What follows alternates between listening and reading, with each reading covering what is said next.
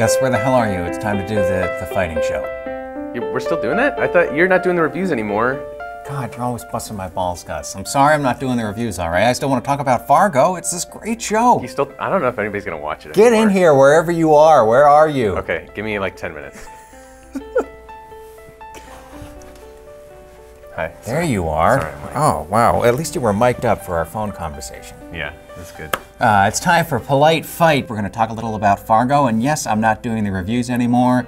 I actually cried about that, Gus. no. Yeah, it was an emotional thing for me, but I'm, I'm editor in chief, my job's busy, and I've been looking forward to writing about Fargo all year. So thank God we have Polite Fight where we can chat about it. about it, yeah. And but I'm glad Zach was able to take over. I know he's going to do a great job on those reviews. And in fact, let's kick off with a comment from Mm-hmm. uh, this week's review, right? Yeah, so we had uh, Pray for Mojo made the very good observation, I thought, that this season's relying a lot on uh, people pulling out their weapons to create tension, Hmm. whereas last season, when a weapon was pulled, it was usually used like immediately. You would see the effect of that immediately, uh, which I thought Especially in this episode. Yeah. That's a great observation. Pray for Mojo. And I, but I think it really speaks to um, it speaks to the era. I just feel like it's an era that is not where violence is not as much a part of the fabric of society yet. No, well, you might be right, but I did think that in this episode it went a little too far. We we have two standoff scenes almost right after another, and I uh, I don't know. What do you think about this? Do you think they were too similar? No, I didn't, and I know by your question that you clearly do. Yeah, a little right? bit. Yeah. So okay, so let's let's pull these two up. Lou has a different color value here Right. on the screen than uh, really everybody, Everybody else. Floyd right. has this bold red, and all the Gerhardt guys have this Blue. blue, and it isolates Lou, but it kind of connects him to Floyd, and it makes Hmm. it seem like these two are the real operators here, Mm-hmm. and everybody else is just kind of noise. Uh, yeah, I like. I think that's a great observation that it sort of I agree. makes them the two. But let's look at how this plays out. How this actual standoff plays out when Dodd gets in here, so that we can compare it later. Okay. Going shot reverse shot between them. That's mm-hmm. building up this tension as more and more people are coming into the frame. Lou's more and more beset on all sides. But he does get Dodd to blink. Dodd's the one who walks away and leaves this. Ben gives him that pat on the shoulder there at the end of this Mm-hmm. standoff, which is such a nice gesture because I think it says two things. One, it says, okay, you're done. Don't push your luck any Mm-hmm. further, right?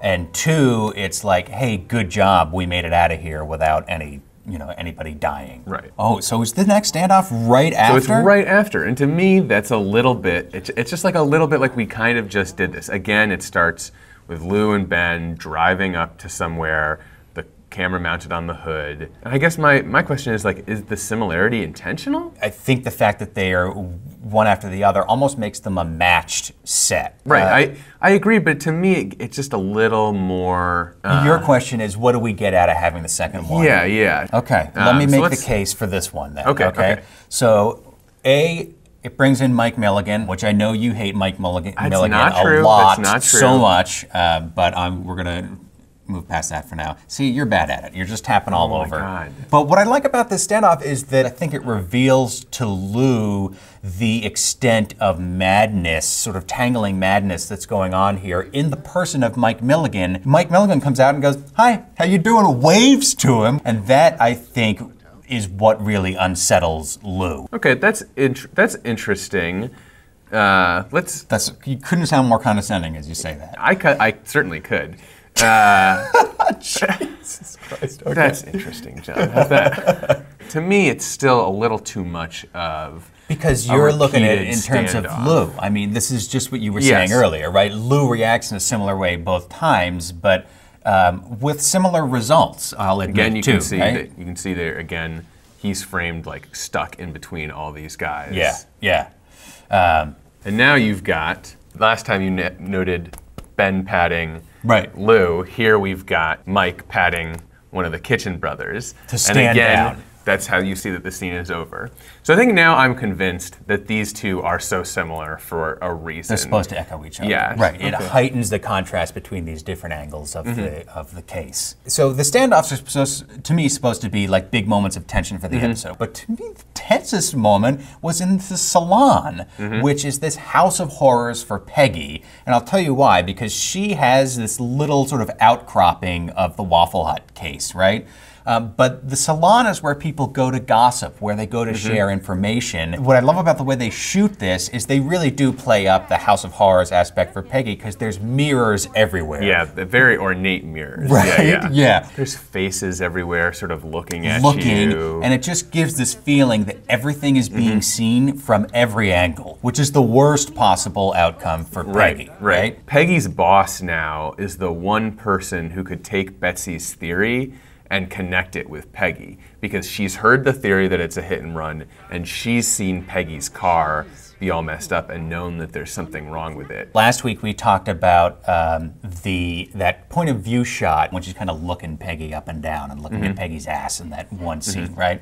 Um, I think this is a character where they get so much accomplished with those glances because after uh, Betsy tosses out her little theory, Mm-hmm. we just just see Constance puffing on her cigarette momentarily, and that glance says it all. That glance is the pivotal shot of the scene because it lays out what uh, lays ahead for, for Peggy. I think. I think that's it for today, right? Do we have Mm-hmm. Any other commenters we wanted to call There out was before we? yeah, there was one other uh, Nads Dickelson. Uh, What? Nads Dickelson? Brilliant. Okay, he's already winning with me. Notice that um, Malvo and the deer last season Oh, great. sort of reminded him of Hanzee uh, and the rabbit at the beginning of this episode. I thought that was a great connection. In what respect? Yeah. They respect and have a sort of special relationship with animals, and especially animals that they have killed or will kill. And I- it really make it really makes me excited to see more from this character. I think that they set you up to pay a little bit more attention to him with that flashback in this episode. So I'm really I think that he is going to be more than just the sort of the Gerhardt's sort of hired help in the long run. He's one of those those characters like Constance who is just you're getting access to them a little bit in subtle ways that's prepping us to pay more attention even though they haven't become sort of major players. He reminds me of Malvo in the sense that they both have this elemental feel to them, Mm-hmm. right? And I think that the, the animals do feed into that. And I did not notice that until Nads Dickelson pointed it out to me. Um, yeah, I think that's it for this week. Okay, great. Well, thanks for your comments. And they really, especially Pray for Mojo, really fueled the discussion this week. Mm-hmm. So that's awesome. Thank you for watching Polite Fight. For Gus Spelman, I'm John Teti. Let's wave to the folks. Bye. Bye. That was a terrible wave, Gus much.